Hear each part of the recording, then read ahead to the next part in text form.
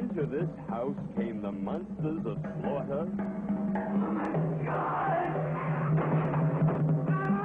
With some of the most hideous tortures and heinous crimes ever shown on the motion picture screen.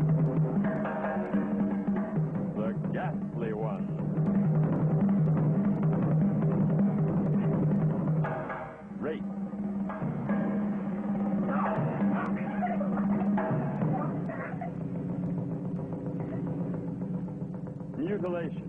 The sadistic story of human slaughter.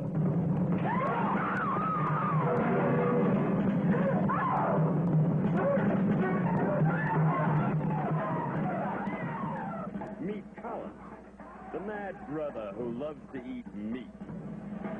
Live meat. Or Liz, whose sick need is only satisfied by the sadism of man.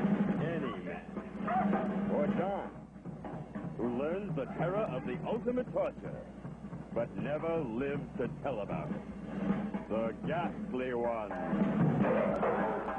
What is it? Not for the squeamish, but an experience so sensually exciting that it will be the stomach shocker of your life. The ghastly one.